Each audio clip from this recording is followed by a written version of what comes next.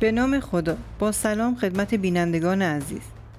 باز هم با یه روایت جالب دیگه در خدمت شما عزیزان هستم. لطفا مثل همیشه با like، comment و subscribe. مشوق ما در ساخت ویدیوهای بهتر باشید. در سال 1362 رژیم بعث عراق وقتی با حمله های رزمندگان و عقب نشینی های پی در پی از خاک ایران مواجه شد برای تضعیف روحیه مردم دست به بمباران های کور زده و با بمب و موشک مردم بیگناه و بیدفاع را به خاک و خون می‌کشید. در جواب بمباران های عراق امام دستور داده بودند که شهرها بمباران نشوند. ولی می توانید مراکز اقتصادی و استراتژیک شهرهای عراق را بمباران کنید. در همین زمان دستوری به پایگاه دسفور رسید و مأموریت داده شد تا پایگاه کوت را بمباران کنیم. این پایگاه در مرکز عراق و در حدود 20 کیلومتری شمال غرب شهر کوت قرار داشت. و از مهمترین پایگاه های هوایی عراق محسوب می شد. برنامه حمله تریزی شده و قرار شد تا اولین دسته پروازی شامل خلبانان همتی و آینی این پایگاه را بمباران کنند. بمباران به خوبی انجام گرفت ولی هنوز به بسیاری از شلترها و همچنین باند فرودگاه آسیبی وارد نشده بود. ده روز بعد مجددا این حمله در دستور کار قرار گرفت. این بار نوبت من و جناب مهدی ایرانمنش بود تا پایگاه رو بمباران کنیم. خلبانان عملیات قبلی با پرواز در ارتفاع پس به خوبی پدافند پایگاه کوت رو غافلگیر کرده بودند. ما هم تصمیم گرفتیم به همین شیوه عمل کنیم. اما به طور حتم این بار پدافند هوایی کوت که به علت سهلنگاری در مأموریت قبلی تنبیه شده بودند می‌خواستن از حیثیت خود دفاع کنند. بنابراین ما باید خیلی مراقب پدافند عراق می بودیم. ضمن اینکه به خاطر اهمیت این عملیات دو فروند F14 ما رو تا کنار مرز پشتیبانی می‌کردند.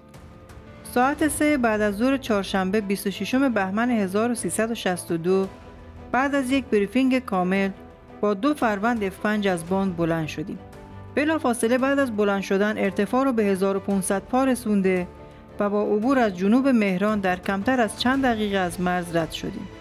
ارتفاع رو تا حد ممکن کم کردیم و از شمال شهر شیخ سعد عبور کردیم. از فاصله 20 مایلی برج مراقبت پایگاه رو می‌دیدم. تا اینجا بدون هیچ مشکلی پرواز کرده بودیم. با تغییر سمت به 295 درجه شهر کوت دقیقا در روبرومون قرار گرفت. شهر کوت رو رد کرده و به پایگاه رسیده بودیم که ناگهان متوجه دکلهای برق دور پایگاه شدم که به صورت ابرویی و در ارتفاع کم کشیده شده بود. این دکلها و کابلها 100 درصد در ده روز اخیر کشیده شده بودند. وگرنه در گزارش پرواز گروه قبل ذکر می‌شد. اگه بالا می‌رفتیم رادار دشمن حتما متوجه ما می‌شد. نمی‌تونستم ریسک کنم. به شماره دو گفتم میریم برای هدف دوم. در تمام معمولیت ها همیشه دو هدف مشخص می‌شد که اگه در زدن هدف اول مشکلی پیش می اومد به سراغ هدف بعدی می رفتیم. هدف دوم سی کیلومتر دورتر و یک پل استراتژیک بر روی رودخانه دجله در مرکز شهر کوت بود. نزدیک پل گفتم مهدی تو ابتدای پل رو بزن من هم انتهای اونو می‌زنم. از روی شهر عبور کردیم و با گردش به سمت مرز آماده شدیم تا پل رو بزنیم. مهدی ابتدای پل رو زد و بمب به اسکله و قسمت نگهداری سوخت برخورد کرد. من هم وسط و انتهای پل رو زدم. در حین بمباران یه لحظه متوجه یه هواپیمای نقره‌ای شدم. با جستجوی چشمی متوجه حضور دو فروند میک شدم که گویا قصد نداشتن ما رو روی شهر هدف قرار بدن. کمی تغییر سمت دادم تا اونها رو بهتر ببینم. به همین دلیل مهدی که شماره دو بود جلوتر از من قرار گرفت. درست حد زده بودم. اونا آماده شکار ما بودن. گفتم مهدی دو تا میگ دنبالمونه. موتور رو روی پستوز بذار و برو. منم سعی می‌کنم معطلشون کنم. خوشبختانه اونا مهدی رو ندیدن. چون رنگ استتار هواپیماش کم رنگتر بود و سختتر دیده می‌شد.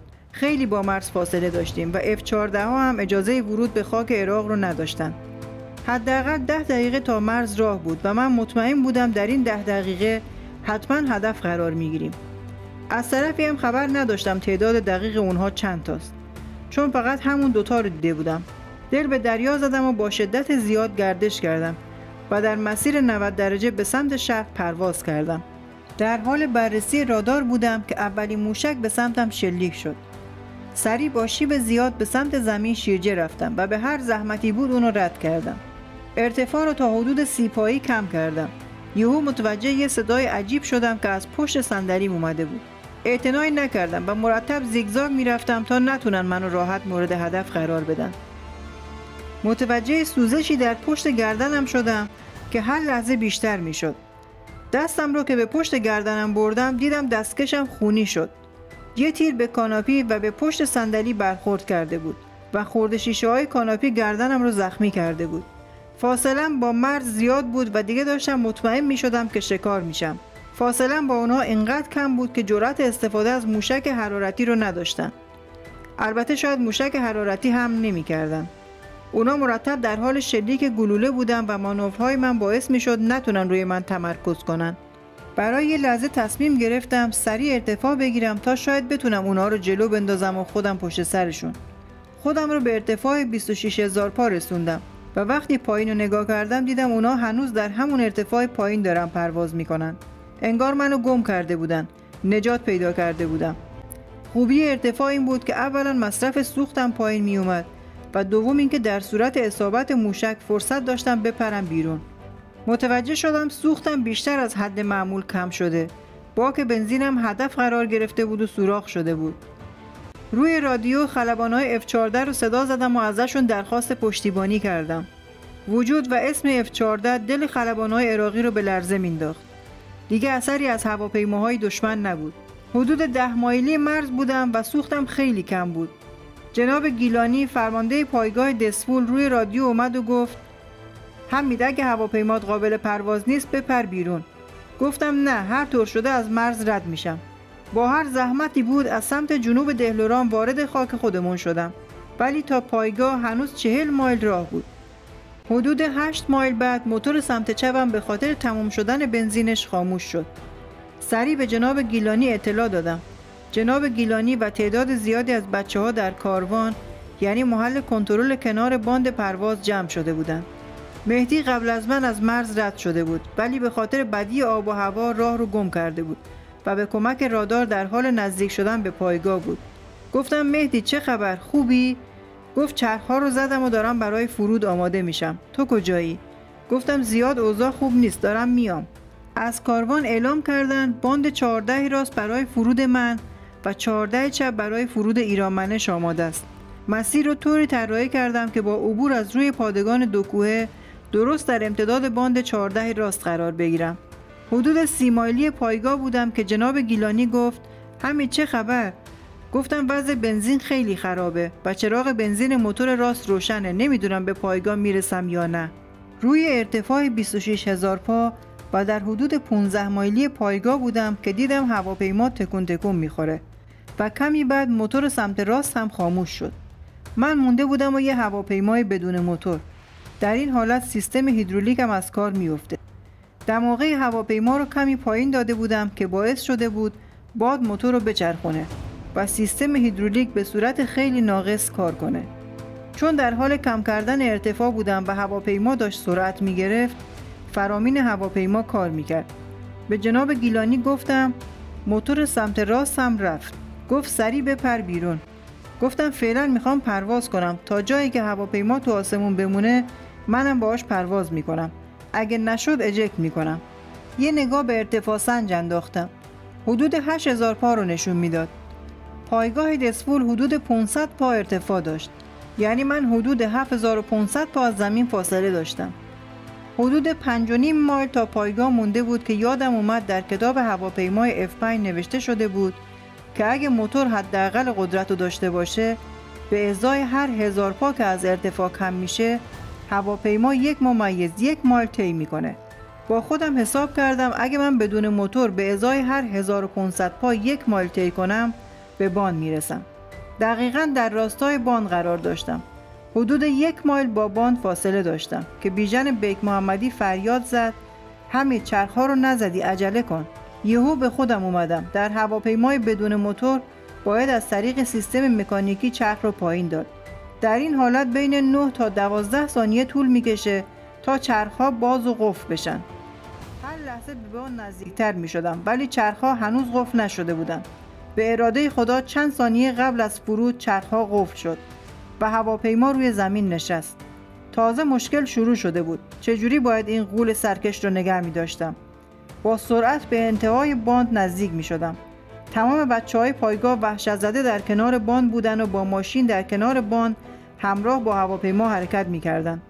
هرچی ترمز می‌گرفتم اثر نمی‌کرد. در حال خودم نبودم و متوجه نمی شدم که ترمز بدون هیدرولیک اثری نداره و باید با قدرت پا نگهش می داشتم. من هم در حال لرزیدن بودم و پاهام توانی نداشت. هرچی فشار می دادم انگار نه انگار. فکر کنم با سرعت حدود 80 مایل به تور نگهدارنده آخر باند برخورد کردم. تور با اون مقاومتش از سمت راست کنده شد و باعث شد هواپیما به سمت زمین خاکی کنار باند چرخش کنه و بایسته. گرد خاک اونقدر زیاد بود که هیچ جا رو نمی‌دیدم. خواستم از هواپیما خارج بشم ولی تور روی canopy افتاده بود و نمیذاشت canopy رو باز کنم. با هر زحمتی بود کمی بازش کردم و تور رو با چاقو بریدم و پایین پریدم. اونقدر وحشت زده بودم که بی اختیار به بالای تپه آتش که در انتهای باند قرار داشت رفتم. کلی ماشین بود که روی باند به سمت هواپیما می اومد. منتظر آتش گرفتن هواپیما بودم و اصلا یادم نبود که هواپیما بنزین نداره که آتش بگیره. از اولین ماشینی که کنار هواپیما ایستاد جناب گیلانی، اردستانی، بیک محمدی، آینی، تحموری و قهرود از اون پیاده شدن. قهرودی و اردستانی گریه می‌کردن. بیک محمدی صداش در نمی اومد.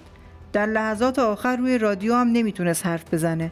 مصطفی اردستانی داد می‌زد و به هر طرفی میدوید که یهو منو دیدن. همه به سمت تپه دویدن و قصد زدن منو داشتن. منم پا به فرار گذاشتم. خلاصه اوضاع آروم شد و به کنار هواپیما رفتیم. خدا برای چندمین بار قدرتش رو به من نشون داده بود. بچه های فنی جای اصابت گلوله رو نشونم دادن. اگه گلوله فقط دو سانتیمتر جلوتر می اومد حتما به سر من برخورد می‌کرد. تیر دقیقا به قسمت فلزی ریل پشت کاناپی که حدود 15 سانتی متر عرض داشت برخورد کرده بود. اگه 5 سانتی متر هم پایین تر خورده بود باعث انفجار هواپیما می‌شد. این سومین روایتی بود که ما از کتاب قررش رد سرتیب عبدالحمید نجفی براتون تعریف کردیم. کتابی زیبا که حاوی اطلاعات بسیاری از دوران جنگ و اسامی خلبانانیه که اسمشون کمتر شنیده شده. این در حالیه که ما هنوز نرسیدیم ایشون رو کامل معرفی کنیم. امیدوارم این روایت مورد توجه شما عزیزان قرار گرفته باشه. خدا نگهدار.